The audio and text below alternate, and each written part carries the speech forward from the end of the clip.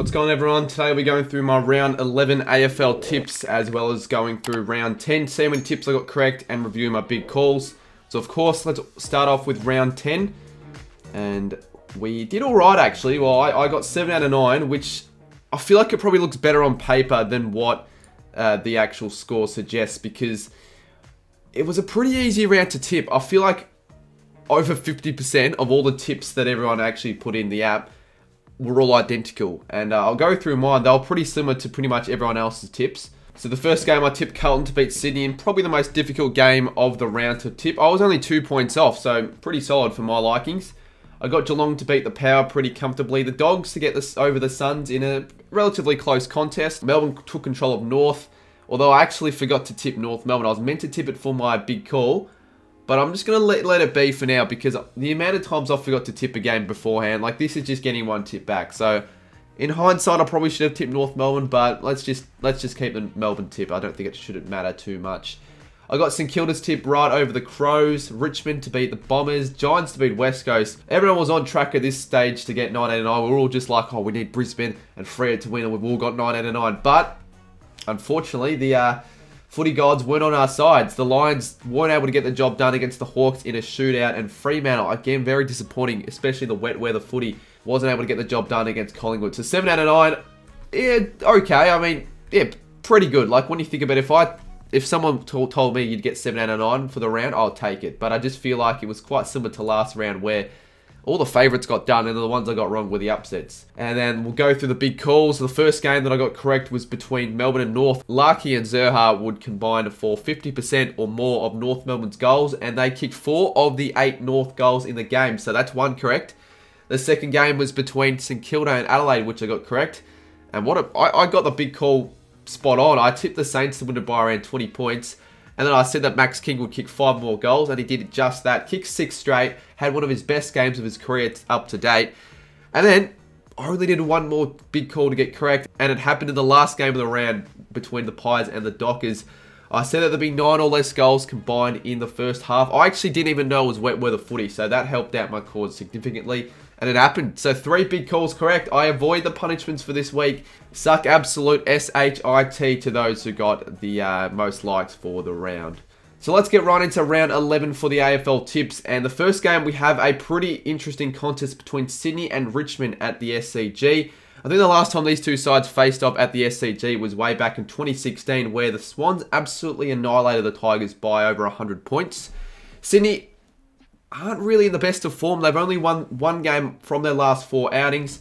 Whilst the Tigers, on the other hand, they have found their form at the moment and they have won their last four games of footy. I know they haven't been playing the best sides, but still, every win that the Tigers are getting is just building a little bit more confidence. They're getting plays back, such as Prestia and Martin, and they're just finding something at the moment, the Tigers. They're almost back to their best. Uh, it's the best the Tigers have been performing for, I'd say, a year and a half since their flag in 2020. They are out with Tom Lynch, which is a bit of an issue, and I'm pretty sure the Swans, they're without Josh Kennedy for a good 10 to 12 weeks. But I have a feeling, particularly at the SCG, the Sydney Swans need to get this win. Otherwise, top eight is in jeopardy. They're one game outside the top eight, and uh, they just need to find some form back for the confidence. So I think the Swans should win this game, although the Tigers, you can't write them off. They're looking like a side that can put some damage come the, the pointy end of the season. But I think I've got to go the Swans here because I just expect them to bounce back. And the Tigers haven't beaten anyone good yet so far this season. But I think this will be a very close game. Don't get me wrong. I'll go the Swans to win this one by 14 points. And my big call, Lance Franklin kicked three or more goals before halftime. So the next game, we've got Brisbane taking on GWS at the Gabba. First game on the Saturday. The Lions went down to the Hawks, but no, I don't think it's too much of a worry for the Lions. They just can't seem to play the Hawks at all, particularly in Tassie. Their last three games, I think now it is, that they played against Hawthorn, they've all been losses. So it's their bogey team, Brisbane. I don't know why, because Hawthorn haven't really been going that great in the last couple seasons. Uh, but yeah, Brisbane, I mean, they didn't play terrible. They still scored 112, but they allowed the Hawks to score too much, and particularly through free kicks. That game, let, let's be real though, there were way too many free kicks awarded in that game. It was just good to watch a close high scoring game. They lost 112 to 117, but I don't think there are too many worries to take out of that game. Other than the Hugh McCluggage injury, that is going to be a bit of a setback for the Lions. The Giants got a win under the interim coach in his first game in Mark McVeigh. Uh, the Giants, I feel like they played with a lot more freedom, a few positional changes. Uh, Himmelberg went down back. Coniglio played some more time in the midfield, really had a good game. And, uh, you know, the Giants, yeah, they, they kicked 21 goals, 14 at half time. They, they were really good. I know it was against the West Coast Eagles, and literally anyone can kick a big score against the Eagles, but they just had to show it, and they did in this game. But the Lions are very, very different from the West Coast Eagles, particularly at home. But I feel like the Giants right now, they're, they're playing with a bit of spirit under Mark McVeigh, and I reckon they'll put up a bit of a fight. Uh, but i got to go the Lions in this one. I'm going to go them by 28 points. And my big call will actually be that the Giants win two or more quarters. Now, the second game at the same time is between Geelong and Adelaide at GMHBA Stadium. The Cats got a pretty good 34 point win against Port. They were sort of challenged in the first half. It was a really poor game to watch. The uh, you know, just the skill quality in the first half particularly. But the Cats, they played the game how they wanted to in the second half, and they sort of controlled the game from that point. Um, kicked seven of the last eight goals, I think they did. Jeremy Cameron had a really good game, three goals, 24 touches. Too good for the power in this one. And Adelaide, I thought they were quite impressive against the Saints. They really took it up to us. Of course, bad kicking sort of cost them in that one. Nine goals, 15 umpiring did lean towards the Crows. That did help them out at the end of the day. But like at the end of the day, though, the Saints were just too good, particularly that last term, kicking eight goals to three.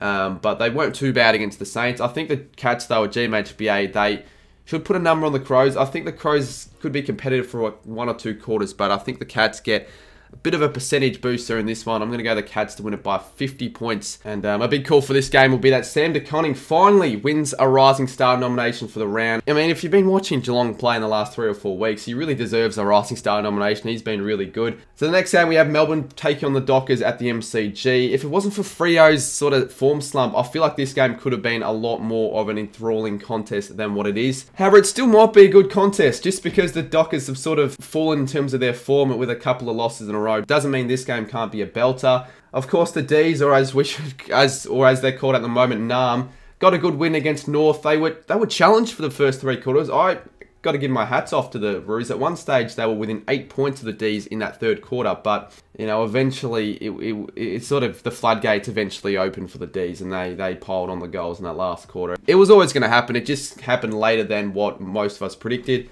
And of course, I got my multi wrong. Not surprising at all. Fremantle, on the other hand, they take a hit on their percentage. They lost to Collingwood at home in a game that many of us thought that surely they bounce back. The conditions, again, they just sort of affected Fremantle's style of play. They weren't able to get anything going up forward. Again, the Pies were really good in all aspects of the ground. And Freo are now in a bit of a vulnerable position. Of course, their percentage takes a bit of a hit, and they play Melbourne and then Brisbane in the next two games, which you probably reckon that they might lose them both. So, not very good for the Dockers, but I feel like they're still a good enough side to bounce back, and you never know. They could even beat the Dockers because these two sides are still probably the best two sides in the comp defensively. Uh, but my my tip will have to go the, the D's. There's no reason not to tip him. I'm going to go the D's by 24 points. My big call, 28 or more behinds are combined throughout the entirety of the game. So we head to the Saturday night games. The first one of the two being between the Eagles and the Dogs at Optus Stadium. Uh, do I do I have to, do I respect the Eagles' efforts on the weekend? Even though they conceded 14 goals in the first half, they were able to score I think 87 of their own, which is up there with their, one of their highest scores of the season. So you got to give props for the Eagles in that regard. But at the end of the day, they still lost by 52 against a side that uh, is in the bottom five. So I just feel like it highlights West Coast season in a nutshell. And up against a Dogs who are in red hot form, winning their last two games against Collingwood and the Gold Coast Suns. And I cannot see a day where the Eagles even come close in this one. The Bulldogs, they're finding their form back. They're a side who can smash teams if they want to. They did it against the Saints last year and the Roos. They're going to do it again against the Eagles. I reckon this will be a big win from the Dogs. 83 points will be my prediction. And um, a big call will be that the Dogs will be up by 10 or more goals at half time. Now, the second of the two Saturday night games, the one I'm more looking forward to in terms of being a contest, is between Gold Coast and Hawthorn at TIO Stadium up in Darwin. The Suns were actually alright against the Dogs. Like, they never gave up. They kept on trying. They kept on fighting with the dogs, but at the end of the day, the dogs were just a little bit too classy, a little bit too good up in Mars. But I didn't think the Suns were that bad at all. Joel Jeffrey impressed a lot of us with five goals and a Rising Star nomination.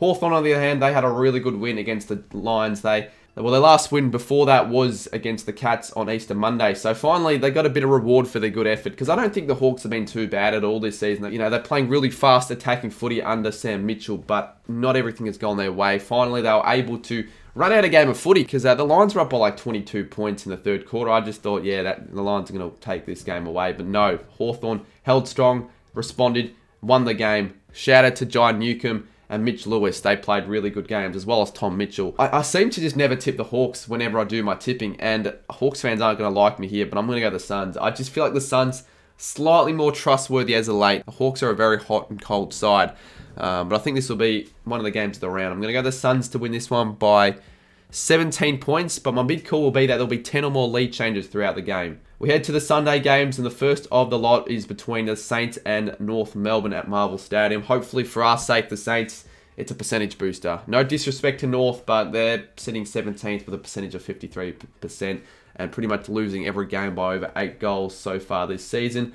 We had a good win against the Crows. We weren't at our best in the first three quarters. If anything, we probably deserved to lose. But that last quarter, you know, goes to show that we are a fit side. We are a fast finishing side. Kicked eight goals to three in that quarter. North Melbourne, I thought they were all right. I know the D's had a lot more scoring shots, a lot more inside 50s in the first three quarters, just weren't able to punish the Roos as of yet. But I thought North Melbourne were actually pretty good. They showed their effort and they, they showed that they can compete and improve even through losing games of footy. But the result for this game should be a no-brainer. The Saints, it is a must-win game and it's a must-win percentage booster because our percentage is the second lowest for all the teams in the top eight. So a, a, big win would be nice for us.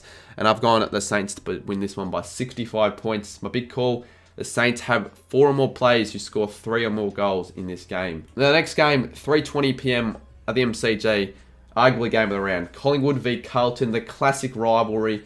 The Blues are flying at the moment. They're 8 and 2. They had a really good win against the Swans. Probably their best win so far of the season and it all, all came about due to the second quarter where they kicked I think nine goals, and that was pretty much at the end. And at the end of the day, that just proved to be too much for the Swans. Although at, the Swans almost could have won that game late, they just weren't able to make the most of their inside 50s. Jacob Weitering, shout out to him, he was absolutely outstanding. And uh, of course, Charlie Curnow with the six goals. And then Collingwood, they were also really good against Freo. Not many gave him a chance, particularly away and uh, they they just played really good footy. They played the wet conditions a lot better than the Dockers, and uh, yeah, got the job done by six goals. Really surprising. I feel like it builds up to be, it shapes up to be a really really good game. Collingwood are going to have all the confidence in the world that they can beat Carlton, particularly considering that as of late, Collingwood just seem to win it all the time against Carlton. I know it's a different scenario at the moment. The Blues are a lot better than the Pies and really should win this game to go 9 and 2, but where, no matter where these two sides are on the ladder, it always is generally a good game of footy. I'm, I'm going to go for an upset here. I, I feel like upsets are going to happen. And This one, I can see happening. I, I can see Collingwood excel in this game and play their best game of footy they have played all year and uh, get the job done. But I don't see the Blues themselves not showing up. I think both sides will show up, but the, the Pies just take more of their chances and win the game by three points in what is safe to be game of the round and probably almost game of the, the year as of at this stage of the season. Uh, so I go Collingwood by three points. Big call. The Pies win the game after trailing at three quarter time. And the last game of the round, we have Port Adelaide take on Essendon in the graveyard shift. I wouldn't assume there'd be too many eyes pointing towards this game. It just feels like a bit of a dead rubber, honestly. Port were quite poor against the Cats at half time. They were in the game, in the contest.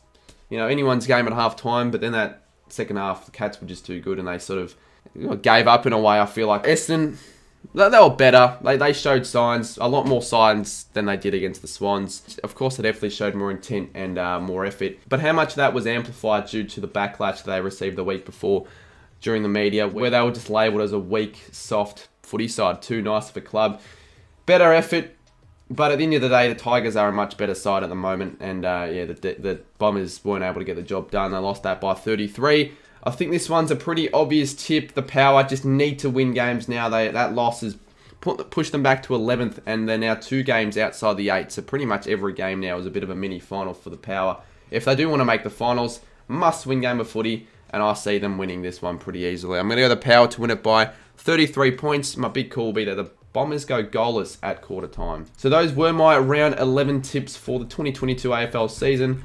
I'll go through them real quick. I went the Swans, the Lions, the Cats, the D's, the Dogs, the Suns, the Saints, the Pies, and of course the Power. So those are my tips. Let me know what you thought of them down below in the comments. And uh, I'd like to see an upset of the week. So what is your upset of the week? If you're going to go an upset of the week, even if you haven't predicted an upset, comment down below your upset of the week and give me a bit of a reasoning. Because I'd like to see what you guys have to say. But those were my tips, of course. If you guys haven't subscribed to the channel, go do that right now. We are on the road to 20k. So if you're watching the content and enjoy it but haven't subscribed, go chuck a sub. Go watch my Adelaide v Saints vlog. For whatever reason, I think it's because of the time I uploaded it. It just hasn't really done as well as I wanted it to do. So go and watch that if you haven't already. Really, really recommend it. Uh, but aside from that, I appreciate everyone for watching. Drop a comment for a punishment in the comments. And I'll see you soon in my next one.